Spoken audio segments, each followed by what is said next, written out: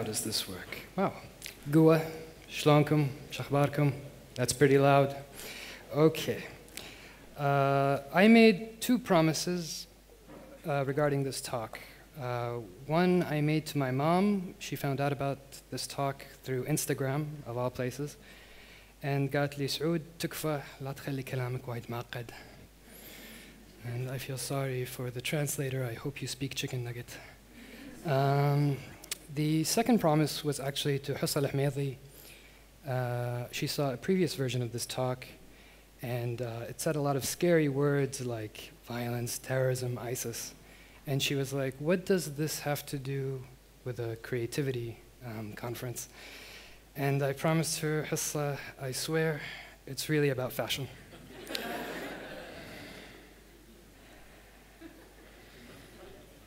so there is kind of a conceptual uh, decision here to say copy paste, taqlid, taqalid.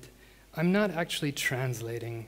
I'm saying that there are actually universal traits that, is, in a sense, transcend translation.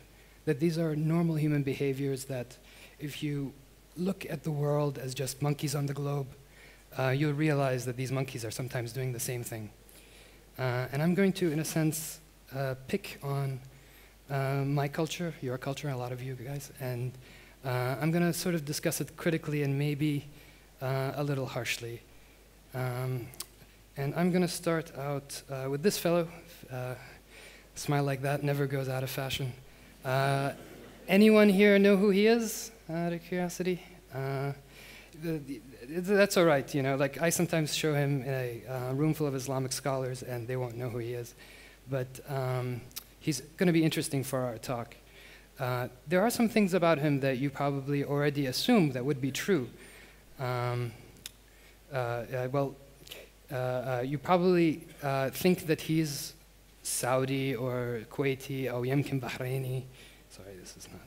Yeah, um, actually, he's not. He's from Zimbabwe. and I know it's complicated, and all of our life stories are complicated, but uh, his you know, family background's from Gujarat. Uh, um, but the assumptions you would make about him, for instance, that he'd be religious, that's true. Um, maybe يكون عالم دين أو من العلماء, and that's also true. Uh, he's actually the Grand Mufti of Zimbabwe. Uh, and in a sense, it's puzzling, of course. Uh, he's from South Asian background, Gujarat, from the best I could establish. Um, and, you know, but born and raised in Zimbabwe, you'd assume he'd look like other African religious figures. These are religious figures from Nigeria, which is the second most populous um, Islamic country in Africa after Egypt. Um, but you know, say, okay, he's South Asian. Why doesn't he dress like a South Asian alim? Uh, this is the Grand Mufti of Pakistan, um, Taqi Usmani. Uh, let's say, okay, you know, the Nero hat and the um, dyed beard. He's maybe more orthodox than Taqi Osmani. Maybe he'd be like this guy, who is the head of the uh, uh Jamiyat Ulama'i Hind, uh, which is like a Deobandi school. These are the people who kind of influenced the Taliban. It wasn't vice versa. Uh, but instead, you know, he looks like one of us. Yeah.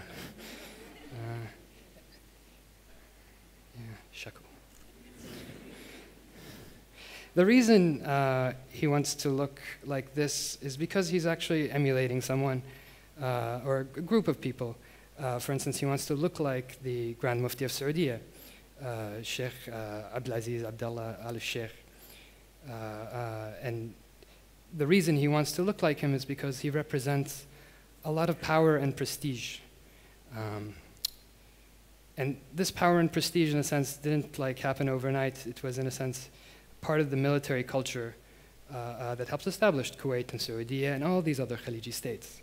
Uh, specifically these two guys, but it's a long story, so we're not going to get into it. In a sense, Saudi is a kind of a successful example of a Sunni religious state, and a lot of people, in a sense, aspire and see it as a role model. There's good reason for that. And this is, in a sense, an opportunity for to copy or to in qaldun one another. And in a sense, this is a discussion um, that tries to balance between authenticity and authority. I know there was a lot of talks today about authenticity. I study actually the relationship between it and authority in particular. Um, And I call this discourse Salafi aesthetics, because within Sunni discourse, the um, going back to the earliest sources of Islam uh, is, is the most authoritative and the most authentic. And this isn't sort of something that happened overnight and didn't only happen in Saudi. Saudi, in a sense, imported a lot of people, and this is one of the people they imported uh, from Albania. Uh, this is uh, uh Muhammad Nasruddin al-Albani, uh, one of the great hadith masters of the 20th century. And in a sense, he taught a generation of Saudi uh, students and seminarians to look things up, as big of an innovation that is. And one of the things he did teach them, it was in a book that described in detail the descriptions of the Prophet's prayer. and in one of those in those texts, it was one of the first discussions about the physicality of the Prophet, and this is why the Salaf today um, trim their mustache, for instance. Uh, this was not something that they did prior to the 1950s. Um, the second figure is actually a literary critic uh, who came to Islamic Topics late. His name is Sayyid Qutb, and he, in a sense, gave a um, political imagination uh, uh, uh to a, generation about how to use this religious knowledge, uh, usually, in a sense, in an anti-Qutbist mode.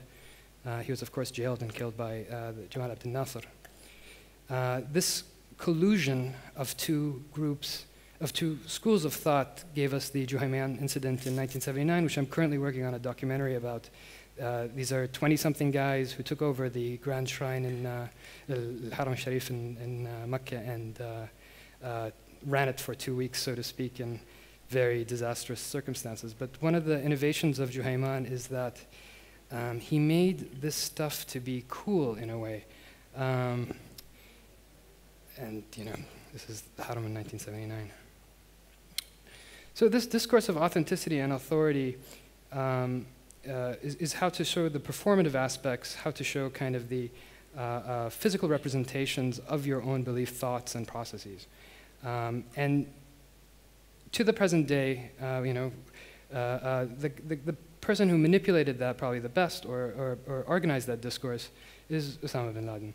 Um, and in a sense, we consider him the chief architect of Al Qaeda. It's actually more his symbolic value that is actually relevant. Uh, this is one of the earliest, like, sort of photos with a, a, Western photojournalist, and he's still wearing the ghitra. He's still, in a sense, talking in the rhetoric of uh, Saudi um, religiosity. It's only in his years in exile uh, that he actually started changing these things up. So this is you know, way past his Afghan experience. He started wearing the camouflage of um, the Afghan warrior. He started wearing the turban, and this specific turban uh, uh, is actually uh, West Africa, Hadramoti, uh, sorry, East Africa, Hadramoti, uh, Arabian Ocean.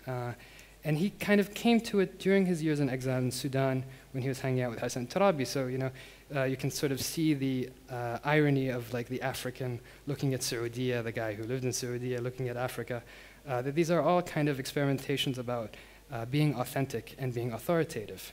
And of course, we have our own guys who copy him. Uh, too bad I couldn't find a better picture. Uh, and then, you know, all politicians make mistakes, so, you know, we give him a pass. Um, the issue of copy and taqlid uh, uh, as kind of a parallel behavior, that there's this um, repetitive nature to it, uh, that we, in a sense, are not being ourselves. Uh, uh, but in a sense, we are, because we're discovering, we're looking, we're thinking about what it means. And so, even bin Laden, I'm cutting him some slack here, is that, in a sense, you know, it took him a while to be the bin Laden he really needed to be.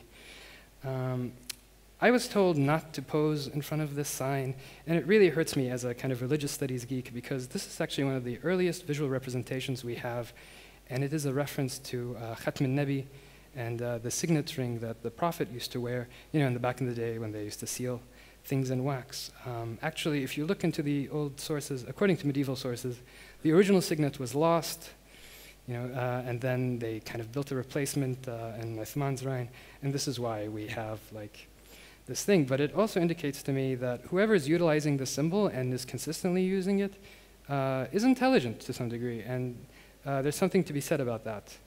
And to make a transition from taqlid to taqalid, the sense of like copy paste, to get to the point of collage or of higher abstract thought, uh, is something that's going on, and the reasons behind it um, are complicated. Um, and when geeks like me get complicated, we go and do theory and uh, uh, I'm going to do Fustel de Coulanges uh, one of the most important figures in my field. He wrote a seminal book called The Ancient City, a study of religion, laws, and institution in Greece and Rome. And you're like, why are you talking about him? You'll see soon. He said in his book that we shall attempt to set in a clear light the radical and essential differences which at all times distinguish these ancient peoples from modern societies. He's talking about his own civilization, not the Islamic one. In our system of education, we live from infancy in the midst of the Greeks and Romans and become accustomed continually to compare them with ourselves, to judge of their history by our own, and to explain our revolutions by theirs. Um, I'm saying something similar happens in the Arab world. But in the Western world, these things are, in a sense, obvious when you look at certain fields like architecture. Uh, this is, you know, uh, Greek revivalism in Berlin. Uh, uh you know, nothing in ancient Greece looked like this. Uh, uh, the White House in its neoclassical style and Roman columns, and even the political concepts behind them when they talk about democracy of the Greeks and the Romans. Fustel de Coulanges' work says, by the way, you guys can't compare because they are almost foreign nations. What we have received from them leads us to believe that we resemble them. We have some difficulty in considering them as foreign nations. It is almost always ourselves that we see in them Hence spring many errors.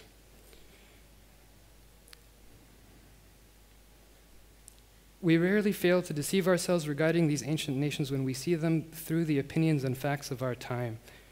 And here, in a sense, when we go back and look at this, we're not looking at Khatm al-Rasul, we're looking at a symbol that's being utilized. And how does this explain ISIS? It doesn't. This guy explains ISIS. And actually, it's the casualties on the war on terror, the incubator of crazy ideas, both West and East, that explains ISIS. 1.3 million deaths. There are so many crazy statistics about the war on terror, but this is the one that really touched me because it's estimated by Physicians for Social Responsibility. This is an organization that won the Nobel Peace Prize in 1985. These are like medical doctors with like crazy statistical knowledge that have made this estimate but they've only made it for Iraq, Pakistan, and Afghanistan. This doesn't include Syria, and the best, most authoritative figure I can find for Syria is a quarter million by the New York Times. So we're already at that, like, over 1.5 million people dead. This is, like, to put it in perspective, the Vietnam War, which lasted for a longer period of time, is 1.1 to 1.3 million. And there are no sides here. But we do have this, and I'm taking you back to the contemporary time. Uh, if any of you guys are gamers, the Al Qaeda generation utilized modern media in a certain particular way, and Call of Duty, in a sense, the game, if you know the game, uh, uh, was their version, their modded version to use kind of propaganda for kids and for people. The Tsarnaev boys, the guys who did the marathon bombing, the Boston Marathon bombing, in a sense, used games like this. But to make a distinction, okay, between Al Qaeda and ISIS, ISIS's Grand Theft Auto. Uh, this is their recruitment tool. Um, yeah, and uh, this is actually a uh, screenshot from a video that was hacked from, uh, from one of Senator McCain's staffers. Uh, his computer was hacked, and they found a video in his computer. This is obviously like leaked um, CIA information showing how the execution videos are made uh, using a green screen. A lot of actual Hollywood uh, experts were saying that these things are CGI'd, but no one kind of believed them or they weren't talking to them. Now we have kind of evidence that these are actually done in a very confined and controlled environment um, for maximum effect. Uh, and of course, the symbolism here, and the one that they're utilizing the most, you know, uh, um, isn't necessarily early Islam. It's the Guantanamo Bay outfit uh, from Camp X-Ray, uh, which in a sense isn't only owned by ISIS or the Islamic State or Daesh or whatever. It's become, in a sense, a universal symbol of what we all think is wrong. Uh, you know, uh, this is by Banksy, but it can be by anyone. Um, and the thing is about copy and paste is that these atrocities are multiplying. I'm not going to show anything gory if anyone's afraid, but uh, uh, this is actually ISIS executing a bunch of the moderate Syrian rebel group uh, from Jaish al-Islam. And this is what's really kind of more atrocious is that Jaish al-Islam does the same exact thing to a group of ISIS. Uh, the war on terror is truly absurd at this point.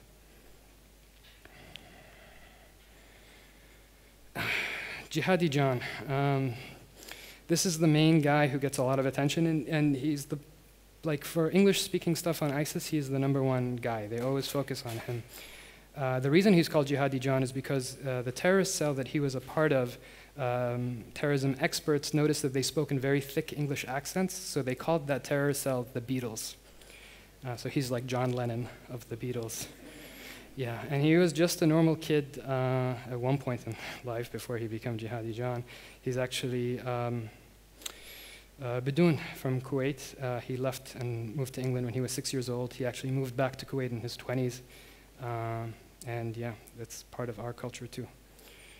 Uh, his other guy in the Beatles group, this is George, you know, George Harrison, Jihadi George. Uh, he was a failed rapper as of a year ago uh, called L Jinny. Uh, uh, yeah, and you know, within a year, he is now one of these guys. And if you actually see his music videos and you see uh, some of the ISIS videos, which I don't recommend anyone doing, you see a lot of sort of the same production values. Uh, and so it's more than just, yeah.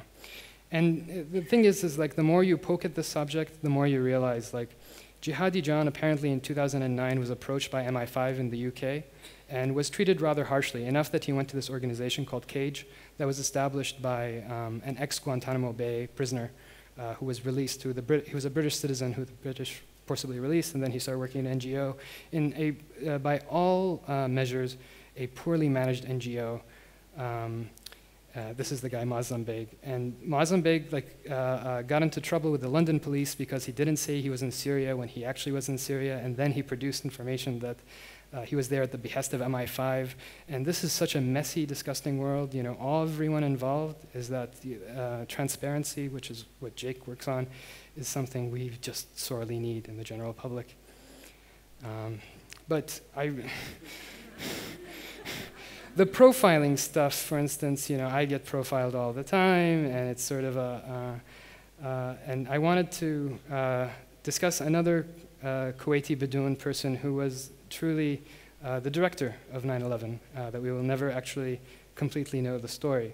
And this is uh, Khalid Sheikh Mohammed, which you all possibly know, and they didn't catch him on a good shot here. But he's been in Guantanamo Bay since 2003. And in 2012, a series of pictures leaked. Um, they have no idea, no one's actually copying up to us, but of him posing in the different outfits I was talking about. So here's him in the ghitra, Here's him, you know, with another shmaq and a mushaf. Uh, this is him in a turban. uh, this is him and the Afghan thing. These are things absurd. W what are they doing in Guantanamo Bay that he's posing like this? You know, like there has not been a good explanation. These have been leaked to Islamic, know, and so it's our own little fashion show. It's kind of a fashion freak show, to be honest, because some guy is actually talking to him and asking him to be positive. And it's really sad. This guy's been waterboarded, according to the United States government, 183 times. He spent, he, he was forced to be awake uh, for 7.5 days, uh, most of the time standing. This is according to the US government. Like the, there's other crazy things, uh, stories about him, about the torture he endured, but these are the things that they are telling us. Uh, there's no way this guy is sane. There's no way this guy is normal. And he's never going to tell us what really happened, what the thought process, how the opera operational details went down, you know, and uh, yeah. Um.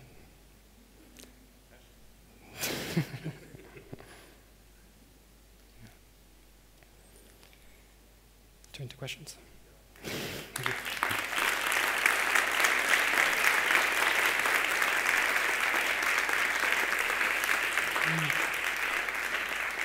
We have uh, time for two questions. So One minute. Okay. Who would like to ask a question? Yeah. yeah. You got a mic? Is there a protocol? Yeah, mic is on its way up. Oh.